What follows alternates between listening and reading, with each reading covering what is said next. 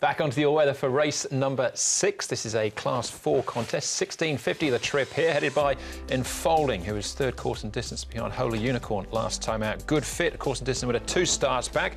Runner-up behind Holy Unicorn last time out. Remarkable, a two-time course and distance winner. Joyful contender. Form on the all-weather, but actually tries the course and distance for the first time. Radiant Bunny, runner-up two starts back behind Good Fit. We got Alcazar with a gear change. Pacifiers going on as he gets back onto the all-weather service. And Gentry, who's won of this trip a couple of times, but they've both been at Happy Valley on the turf. Remarkable, Whampoa Star and Radiant Bunny have been on the road in the last month, up to Conghua and back here for the sixth race. All right, uh, with regards to the speed map, will it be Art of Raw who finds the front? Possibly.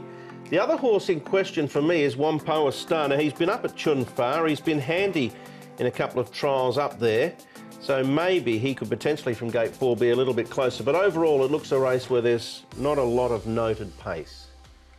Uh, first one we're going to have a look at here is Kingsman. He's just doing a nice piece down the back straight. He's the one in the white saddlecloth closest to us. You can see the good hold he's got on him. It generally does work well anyway.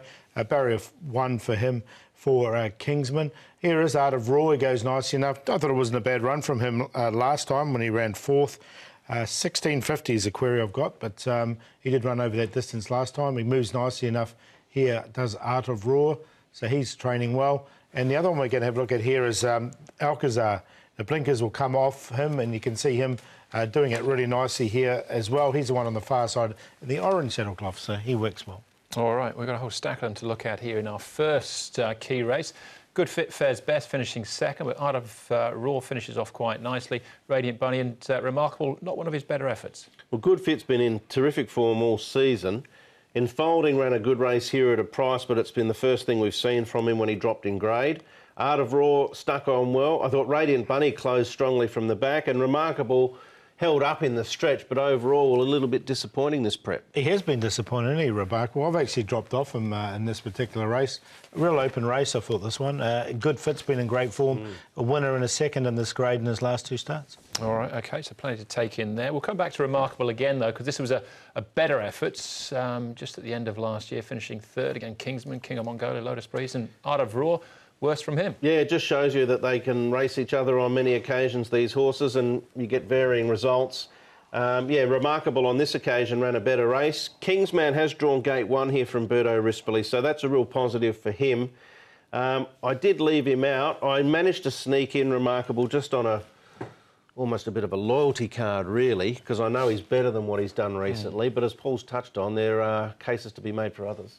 Yeah, I've, I've got Kingsman there because I just think he's going to get a bit of run, mm. a nice run, and he just got a little bit too far back. So I think they'll, they'll pause him up a bit closer. Are you putting Art of Raw in or out? No, I left him out, actually. Um, let's see him back. I think he probably needs further, but it was a good run last time. Yeah. Uh, we've still got a couple to look at. Uh, Joyful Contender next. We're going back two starts for him. He was fifth last time out, but this is the effort the start before. This is over 1,200 metres as well, mind you, behind Golden Effort. Yeah, and it, he went around at 40 to 1 this night, so it was a bit of a surprise to a few that he actually ran this well. And then following this, he went out 3.5 favourite. The best he could do was get two and a half lengths uh, close to ever strong, but he was a bit awkward from the gates. I do tend to think that the longer trip will suit him, but I want a decent enough price about him on his overall record. Yeah, up to 1650 is interesting, isn't he? They've had him um, sitting second in that speed map. I thought he might be a better horse ridden back. Yeah, I tend to think this distance is better than 1200. Yeah, if he didn't have that run in between, um, yeah, you know, you wouldn't have that question mark, I suppose. Whampoa Star, uh, the next and last one we'll look at. I spoke about his trials up at Conghua. Now you can see here he led them in. That stimulation to his outside in the white colours being pushed on. Um, he's a pretty handy class two type of horse. Now Whampoa Star's being hard ridden, it's fair to say, um, and probably coincides a little bit with, uh, with some of his recent form but he has dropped a long way. He's in the hands of Me Choi, who knows how to find a winner on the dirt. I'm going to sneak him in at a bit of value because uh, I've seen one or two runs from him that suggest he could be competitive should the uh, real Whampoa star show up. Yeah, blinkers off, tongue tie off, but he's all yours, Brett. Yeah, I'll take it. All right, good fit favourite here, Paul. Open though. Yeah, very open race. So uh, 5.5 favourite at this stage. Um, but I'm going to go with Kingsman just from uh, the low barrier. I think he can get a nice run. Posi up a bit closer than he was last start, and uh, He's uh, Biofrage. He's a three-time winner from his 31 starts. Good fit, a winner in a second in this grade race. He's eight years old now. He'll want a bit of pace on. That's the query for him. Radiant Bunny's still a maiden uh, at, at this stage, but his last two runs suggest he could run another placing.